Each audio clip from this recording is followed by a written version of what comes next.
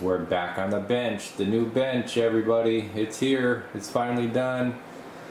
I'm to the point where I'm happy with it that I'm going to start actually being productive and doing some work, getting some radios done because this took about, oh, I don't know, a week to get together.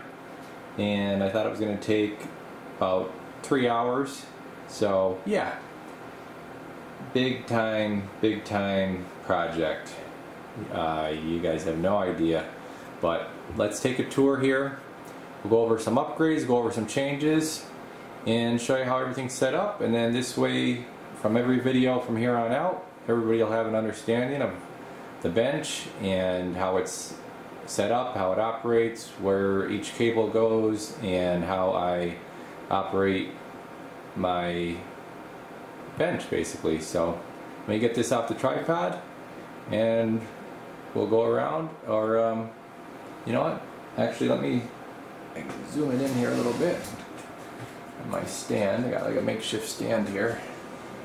So I think if I do it like this alright so let's go piece by piece. We'll start all the way over here. So this is basically where I do my I'm to be doing my shipping out of here. There's my scale. Got a label maker. Uh, I would like to upgrade that Next we have the power supply, the Astron, that's from the old bench. You guys are familiar with that. That's a 50 amp power supply with a variable for amps, variable for volts. These are some extra uh, power wires, cables that I keep around for hooking different things up. Next we have storage. This is a tin that I like to use for when I, uh, I'm working on a radio I just put like, if I'm doing a recap and a bunch of parts and stuff, I'll just put them in here. I'll put this next to the radio, like so, and then all the parts and everything go in there. It's just a little tin. Right now I just have some crap in there. Next up we have the B&K power supply. This is a regulated variable. I like this for if I know I have a short or if I need to inject voltage because this can go all the way down in voltage and it has the current limiting. It also has a 5 volt output on the front. I mean this is you guys have seen this before but just going over it quick. This is my old pyramid supply. It's just good for having around as an extra little supply. That's only a little uh, 7 or 5 amp slash 7 amp for uh, surge. We'll go up here a little bit. So here is our 10 megahertz reference. That's the GPS discipline oscillator. So the whole bench is run off the discipline oscillator. So it goes to my communications test set. It goes to my signal generator. So that's always on frequency. It goes to my, or I'm getting ahead of myself, but I'll show you what else it goes to. So next up we have the scope, same setup as last bench guys, scope, RF signal generator, and the CMU 200. Okay. Next we have the bird, and if you notice we have a little new addition over there on the side. I got a bird RF sampler because I am going to be testing some higher powered, higher powered stuff, which does happen occasionally, and what I'm going to do is just tap off that into the spectrum analyzer and I'm going to use that for the higher powered stuff when that happens. So what I can do is go in through here, adjust the attenuation so that um, everything will be matched up. I'll do that when the time comes, but yeah. So I got a bird sampler, that's new. Same bird meter. Got my little Aries meter here that's handy for doing keeping track of SWR. Also, I'm, i want to put in line just to have a digital meter, just to have another meter in line. It can't hurt. But then we got our function generator, waveform generator. We have the uh, soldering station from the old bench. That's always what I use. It wasn't really in screen, but it was over to the side. You didn't really see it. Up here we have the frequency counter that runs off the 10 megahertz reference.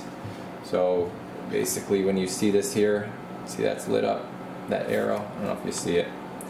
So that means it's running off an, extra, an external reference, even though that does have the OCXO built into it as well. So it's got actually an OCXO ovenized crystal oscillator, plus it has the discipline uh, oscillator going into it. This is my older multimeter that I don't use anymore, but it's a backup.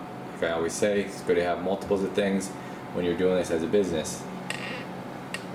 This is really cool guys. This is a new Hakko or Hakko depending how you say it. It is a FX100 and it is actually an RF induction heating soldering station. So I got this for mainly because for micro soldering. So this has a pencil instead of a soldering iron. It has a soldering pencil. It has a bunch of different tips you could change out.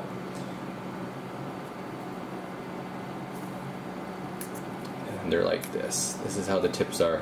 They're quick change. Grab your next tip if you need it. Push it all the way in, you're good to go. And what's really cool about this is, check this out. So uh, when I turn this on, you're going to see a graph. It's going to say hello. It's going to show what it is. And then you're going to see a, a, bar graph. When the bar graph goes down to flat, it's heated up all the way. Watch how fast this thing is. You see the bar graph. It's at 3, and it drops, it's flat, it's heated up. Full temperature. That was like, what, one second? It goes to full temperature in about a second. Two seconds. So that's really cool. Kind of pumped about that. Uh, next up is the FLIR multimeter.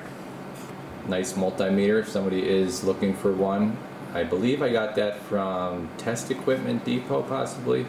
But yeah, that's a nice handy multimeter. Um, this is my, these are my alignment tools, tune-up tools, fiddlesticks, diddle sticks, whatever you want to call them. This is my, go around the other side here. This is my new uh, Loctite that I like using. Well, it's not Loctite, but it's like a Loctite. It's just a different brand that I've been using. It's actually by Bob Smith Industries. It's a thread locker. That's the, the term I was looking for. It's a thread locker, not a Loctite. And it is medium strength, and this is what I like to use, guys. So, next up, we have the Hakko desoldering gun. Great, great investment, great tool. If you ever do any kind of recapping or radio work, these things speed everything up big time. Which actually, this is my second one. First one I dropped and it didn't work after that. And I went out and bought another one in a heartbeat because that's how good they are. So next up we have the microscope for micro soldering. Yes, we will be doing full scale micro soldering on the bench. All the President radios, Striker radios, stuff like that, new Unidens, they are doing, which I actually did start some micro soldering already. Let's show you guys a little sneak peek here at something. I'm getting off track here, but you guys can see what's hidden in here. We have an MD1 and a President Richard. Okay.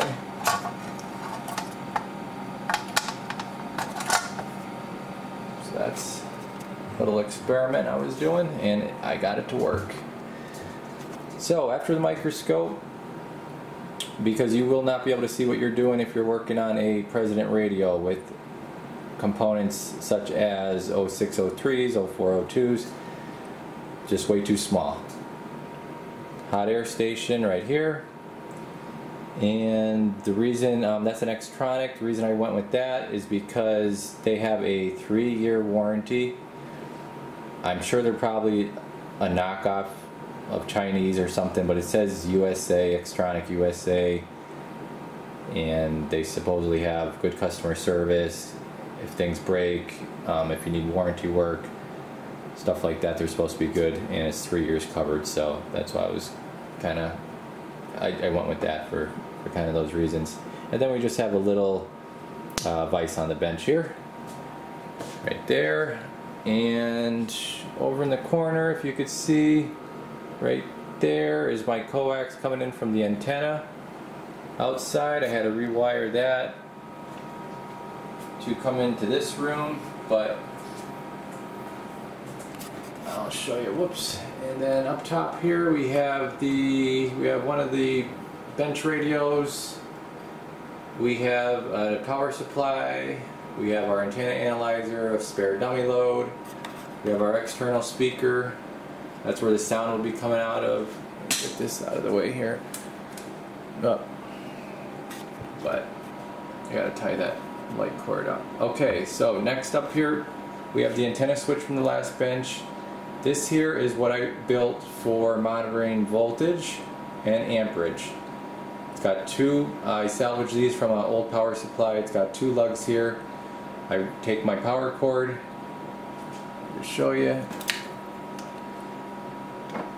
and then I just hook it, and I just run it right to the radio, like so, and then I can monitor everything right there, and it is adjusted by the Astron. The Astron runs to this. So, whoops, made the camera go too fast there. But yeah, that's how that works. Up here we got storage. We got the spare bird meter. We got. Uh, let me get this up a little higher. Yeah, so all my parts bin storage extra cables, extra frequency counter. Like I said, you gotta have doubles, multiples of everything. We got our, um, uh, what am I looking for? It's, uh, oh my gosh, coax, coax crimper, hole punch, parts. These are all parts. Power cords, microphones, um, what am I looking for? Components stuff like that. Some shipping stuff up here and some radios I have. So that is that. I think that just about covers it. I got a light here that can go on and off. I got a light here. I want to get another light for over there. This is the bench radio, of course you guys know, but yeah, I want to get a light for under there. And what else did I miss? Did I get everything? Yeah, more parts back there, parts storage. Okay, I think I got everything. So I'm happy with it. It's a nice big bench. And I'm hoping to be able to do a lot of nice work for everyone on here one of the things I want to touch on is the mail-ins. Uh, no mail-ins right now. No mail-ins for a little while, till at least the middle of August. I am going to be going on vacation next week. So starting actually Sunday. Starting this Sunday I'll be on vacation until the way it looks right now, Thursday of next week. Another thing, I also have a power supply coming, which actually, yeah, that's what this one box is. I'm saying it's parts, but see that box up there?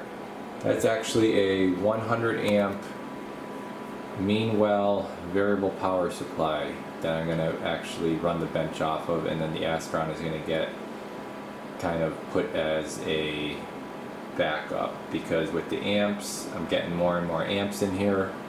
I want to be able to have plenty of juice, plenty of power to run them. So I'm going to be running the bench off a 100 amp power supply, which will then go to my my box up there.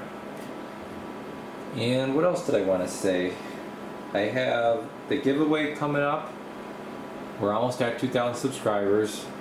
I'm not sure what it's going to be yet. If you guys have some suggestions or something, let me know. But obviously, I'm going to do something.